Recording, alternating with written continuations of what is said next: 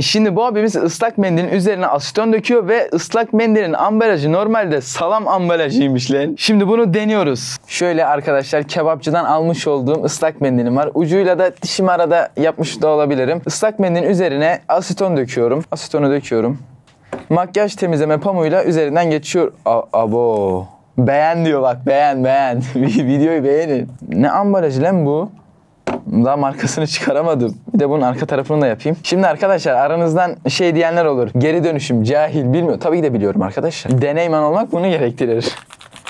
Şöyle deney başarılı. Bu da geri dönüşümlü bir plastikten olmuş.